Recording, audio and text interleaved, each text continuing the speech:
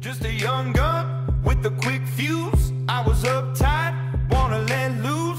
I was dreaming a bigger thing. You're gonna make your own armor target. That still stops the bullet. Yeah, you need it to stop a bullet. You're gonna make your own armor target. You're gonna calculate your areal density, and then we're gonna take it over to our gun tunnel and shoot it. And the person with the lowest areal density that stops a bullet is gonna win the competition.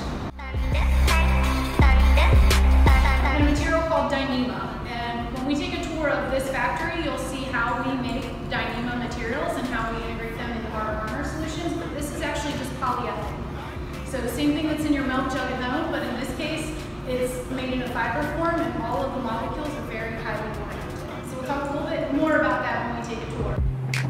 Thunder, Pick your materials, put it together any way you want, in any order. Um, tape it together, you can rubber band it together, but the key is that you're gonna weigh each piece that you put into your armor. You're gonna calculate your areal density, which is pounds per square foot, and then we'll take it over and shoot it.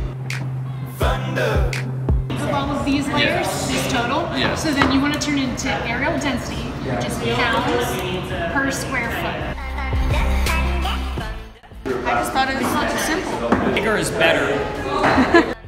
My favorite activity so far would definitely be, be trying to layer things to stop the bullet, the armor piercing bullet, because mine didn't work because I didn't really know how it would go. Can we see yours? Yeah, I was really close with my design and it kind of, it went through really cleanly. So I was close to being right, but not completely. That's okay. That that still is really good, and you understand now the physics behind it. thunder,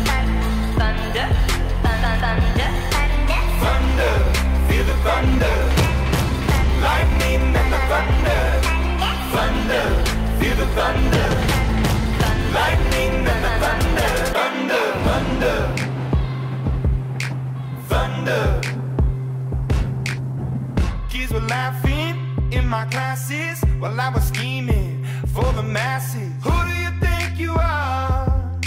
Dreaming about being a big star. They say you're basic, they say you're easy. You're always riding in the backseat. Now I'm smiling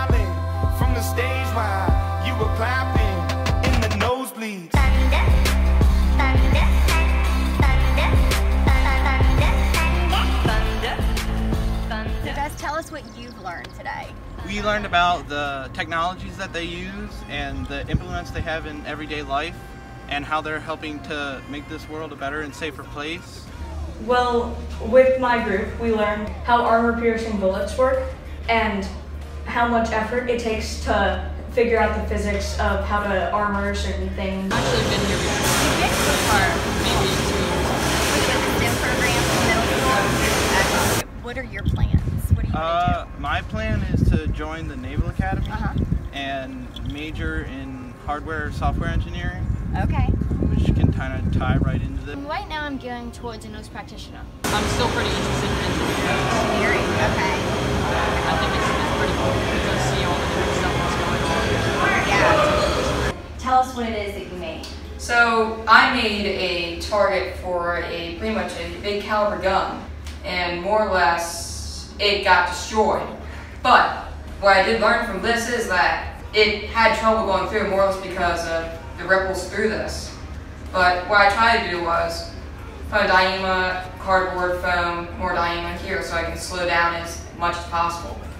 We went robotics this morning, and then when we got here, it kind of built on how like everything is expanding. Learning how the physics and how you would have to do certain things to stall the effects of getting shot with something is something I will definitely take into learning math and learning more of the physics side of things because you have to learn how all the force works and how you can distribute the force and kind of redirect it to a certain route so it doesn't damage anyone. And I think that's pretty cool that we got to go here. I think it's amazing what they're able to do here, and how many lives they're going to be able to save with this upcoming technology.